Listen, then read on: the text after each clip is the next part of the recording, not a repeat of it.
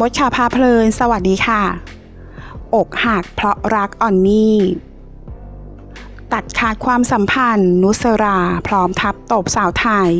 แห่อันฟอร์ลูกอย่างเกาหลี เกิดเป็นกระแสดราม่าในวงการวอลเลย์บอลสาวไทยกับเกาหลีใต้นะคะ ที่กำลังมีคิวทำศึกวอลเลย์บอลหญิง รอบคัดเลือกโอลิมปิกเกมส์ 2020 โซนเอเชียค่ะ ช่วงเดือนมกราคมปีหน้าที่จังหวัดนครราชสีมา โดยนักกีฬาทั้งสองชาติต่างอันฟอลโล่ไอจีกันและกันค่ะ ทั้งที่ก่อนหน้านี้มีความสัมพันธ์อันดีมาโดยตลอดนะคะ ผู้สื่อข่าวรายงานนะคะว่าจุดเริ่มต้นของเรื่องนี้เริ่มมาจากซาร่า นุสราต้อมคำ กับตันทีมชาติไทย แล้วก็คิมยอนขยอง กัปตันทีมชาติเกาหลีใต้ ซึ่งเคยเป็นเพื่อนสนิทชนิดแนบแน่นกันมาก่อนนะคะ เริ่ม unfollow กันและกันเป็นคู่แรกค่ะ ก่อนที่เพื่อนๆทีมชาติไทยจะทยอย unfollow กัน ตามพี่ ลำดับไม่ว่าจะเป็นกิ๊ฟวิลาวัณย์ อภิญญาพงศ์หน่องปลื้มจิตถิ่นขาว ปูมลิกากันทองอรอุมา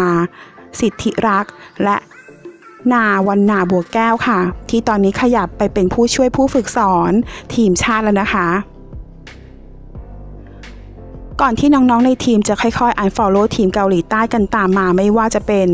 คิมยอนคยองกัปตันทีมแล้วก็ลีดายองมือเซตสาวสวย หนึ่งในฝาแฝดตระกูลลี พร้อมกับติดแฮชแท็ก Support n o s a r a